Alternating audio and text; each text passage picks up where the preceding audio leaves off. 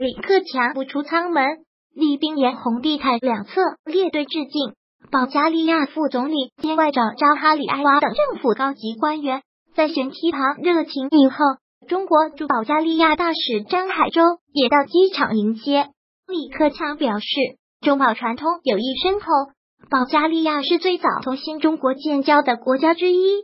两国关系始终保持健康稳定发展态势。这是我作为中国国务院总理首次访保，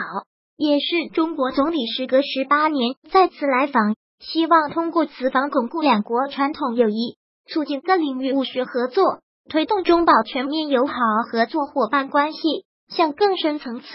更高水平发展。李克强指出，中国中东欧国家合作为加强中国同中东欧国家关系、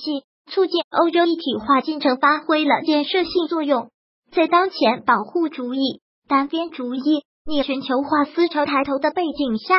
我期待同中东欧十六国领导人共同推动石榴压一合作走实走深、行稳致远，以实际行动维护多边主义和经济全球化，促进贸易和投资自由化便利化，更好惠及中国和中东欧国家人民，为地区乃至世界的稳定与发展注入新动力。陪同出访的李克强总理夫人陈红、国务委员兼国务院秘书长肖捷。全国政协副主席、